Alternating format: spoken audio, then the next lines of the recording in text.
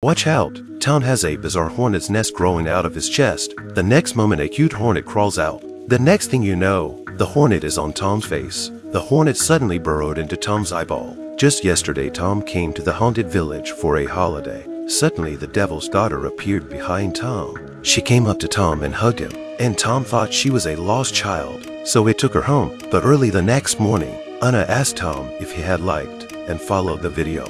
Tom was horrified to hear that. He wanted to get the hell out of there.